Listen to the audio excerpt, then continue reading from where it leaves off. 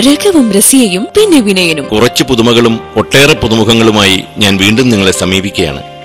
രഘുവിന്റെ സ്വന്തം റസിയ ഒരു നല്ല സിനിമയാണ്. എല്ലാത്തരം പ്രേക്ഷകർക്കും ഇത് ആസ്വദിക്കാനാകും. പ്രത്യേകിച്ച് യുവതലമുറയ്ക്ക്.